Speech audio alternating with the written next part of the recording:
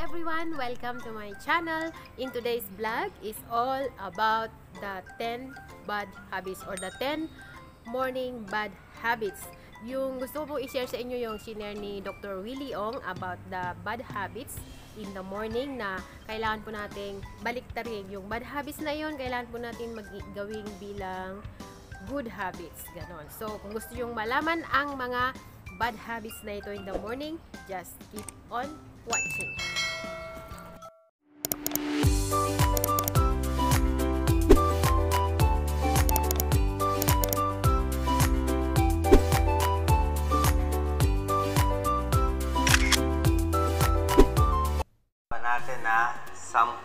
Bad morning habits na dapat mong iwasan.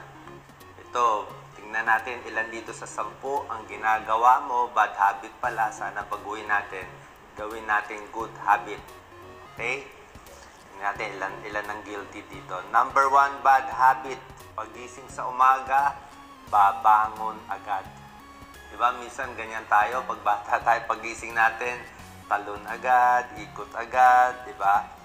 Pero hindi po, lalo na sa mga nagkakaedad, paggising sa umaga, una-una, salamat tayo, gising pa tayo sa umaga. Ako, chinecheck ko lagi, check nyo muna yung leeg nyo.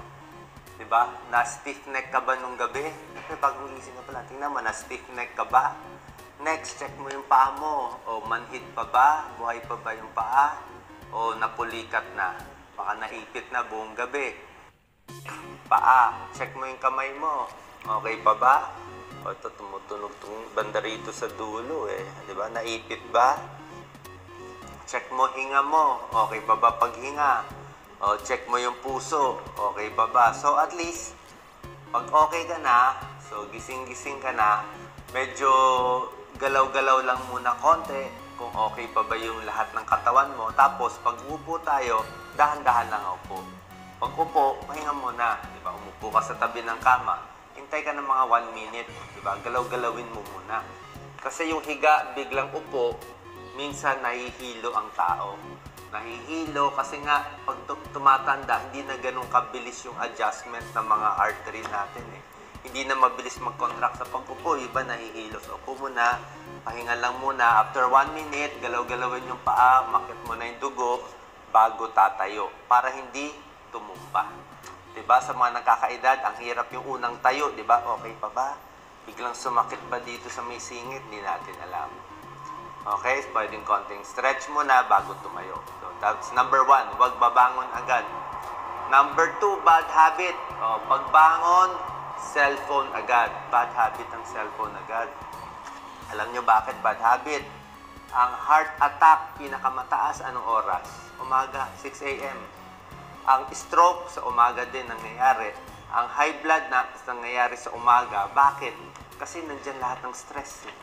Katrabaho, dami iniisip, bagong gising, di ba? Naka-relax yung kotse mo, yung katawan mo, pini-start mo, pinaandar mo agad. Di ba? Tapos, na-stress na nga yung katawan mo, pag-gising, dami mo inisip, ini-stress mo pa yung sarili mo. Check mo ng cellphone, o ano sabi sa chat, o may meeting ka na umaga, may ganito ka, may napagalitan ka ng boss, o meron ka hindi ginawa. May stress ka talaga. Huwag mo na yan. Okay? Kung meron kang hahawakan sa umaga, isang basong tubig. Diba? Inom agad isa o dalawang basong tubig tapos umihi ka muna. Yun muna gawin mo para at least ma-relax yung pantog. Yan ang gagawin natin. So, yan ang number two, cellphone agad, bad habit. Number three, number three bad habit, hindi nagpasalamat sa Diyos. So, hindi nagdasal. So, kahit pa paano, pasalamat tayo, buhay pa tayo, na may gagawin pa tayo for the day. Na at least umaandar pa yung katawan natin, di ba? Huwag yung usap-usap agad, may tatawagan agad. Good vibes muna tayo ha, sa umaga. Number three, hindi nagdadasal. So, balik natin magdadasal. Number four, bad habit. O, mag-comment yung mga guilty or itag nyo yung mga guilty. Number four, bad habit. Umagang umaga, puro na reklamo, puro na sermon, nega na agad, nangahanap ng sisiraan, naghahanap ng bad news, naghahanap ng mababasa. Sino ba mababasa ngayong umagang to? Sino ba titirahin natin ngayon? Kasi kailangan tumira para masaya, di ba? Kailangan ibaba yung ibang tao para para umangat ang pakiramdam. So, wag naman ganun. So, sino ba yan number 4? Umagang umaga, mainit na agad ang ulo. O, pag wala makitang madiskitahan, o baka banatan si mister, o yung mga anak masisigawan. So, yan. Number 4, wag nega agad, bagong gising pa lang. Number 5, bad habit, walang kaplano-plano. So, mahirap yung walang plano sa araw. Diba? Ibig ko sabihin, bago ka matulog, yan ang gawain ni Doc Lisa eh. Bago ka matulog, lagi may notebook na kasulat na gagawin bukas. 1, 2, 3, 4, 5. Para ilagay mo, may meeting ka ba? Meron ka bang ipapadala? Meron ka bang sobrang ipapadala? Meron ka bang iuutos? Nakalista na. Para pagising mo, na-refresh yung utak mo, hindi ka nagpapanik. Uy, nakalimutan ko, lagot. May magpapagalit sa'yo. So, dapat gabi pa lang may plano ka na. Okay? Number six, bad habit. Ito, bad habit talaga to. Hindi nag-aalmusal. Yan, ang daming guilty dyan. I think 33% ng kababayan natin hindi nag-aalmusal. Ano problema sa hindi nag-aalmusal? Pag hindi ka nag-almusal, kung estudyante ka, sure ako, aantukin ka, hindi maganda test mo, kukulo pa tiyan mo, by 10 o'clock, hilo-hilo ka na. Bababa grade mo. Mga hindi nag-aalmusal din bago magtrabaho, pangit ang performance. Hindi makatrabaho. Diba? Isip mo, magpapapayat ako, dami hindi eh. Kailangan talaga may almusal. Kahit konti lang, kailangan kumain ka kasi yun na nagbibigay ng energy. Energy sa katawan, energy sa utak. Number seven, bad habit. Nag-almusal nga, pero ang inalmusal niya kape lang. O, hindi naman pwede isang tasa o dalawang tasang kape lang, hindi nagpalpitate ka pa. So, dapat may ulam din. Yung iba, kape at pandesal, yung maliit na pandesal natin. Kape at, pwede na naman kape at pandesal, although carbohydrate lang yon. Huwag mo i-expect na meron kang masyadong lakas. Parang sugar lang yun eh, carbs lang yun. Mas healthy sana yung almusal, at least may itlog ka, o may isda, diba? Protein yun eh o may konting gulay, di ba?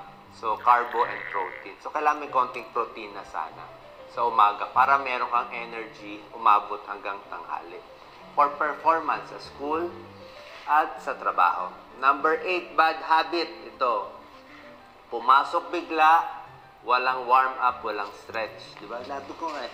Bago ka pumasok, eh, pagpasok mo, magbubuhat ka na agad. Pagbuhat mo, sasakit ang likod mo. So, pagising sa umaga, bago magtrabaho, di ba? Di-stretch mo muna sa leeg.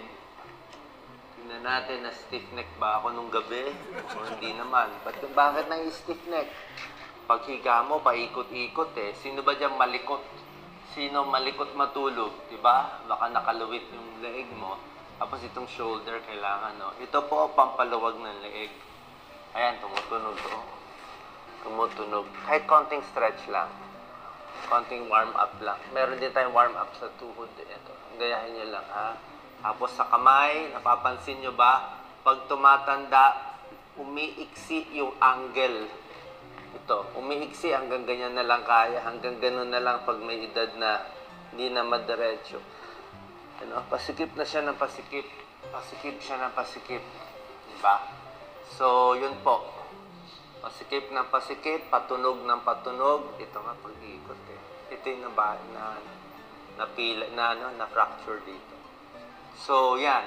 Iluluwag. Expected yan. Mas tumatanda, mas sumisikip yung pintuan ng mga joints. So, kailangan ini-stretch. Di ba? Pati sa paa, meron din tayong stretching sa paa. Konting tiptoe, konting... Papakita ko ba yung stretch sa paa? Baka gumalaw dito. So, meron mga stretch dito sa mga quad stretch. And uh, that's number 8. Di ba? Walang warm up. So, kailangan may warm up para hindi ka mapilay. Uh, meron din sa back eh. Pakita ko sa inyo. Yung back stretch ko, yung ganito eh. Nakaganyan siya. Yung kamay ko nasa ano? Nasa tuhod ko. Kamay ko nasa tuhod ko yan eh. Bago ko siya. Tapos yung mga ganitong stretch. Pa side view. Ah, hindi lang makita, malapit ako dito sa camera. Anyway, marami akong videos dyan ng ibang stretch. Ha? Warm up. Tapos number 9, ito, umamin lahat ng mga followers ko dyan. Oh, walang hiya-hiya ah, pakapala ng muka. Number 9, bad habit, hindi naligo o hindi naghilamos, pumasok agad. Hindi naghilamos, hindi nag-toothbrush, may muta pa, pumasok. Eh, bawal yun. No? Hindi nagpalit ng baro. Yan. At least, uh, ay, Doc Lisa, naligo ka ba? Ha? Ah, naligo daw siya, yan, oh, nagsusuklay. Oh, pakita mo, nagsusuklay ka, ayan, oh. Oy, Doc Lisa, ano morning habit mo? Dito. Yan, ang morning habit. Number nine, dapat naligo, nag-toothbrush, nagkilamos, at yung bodily functions mo, yung bodily functions, i- i- tagalugin mo.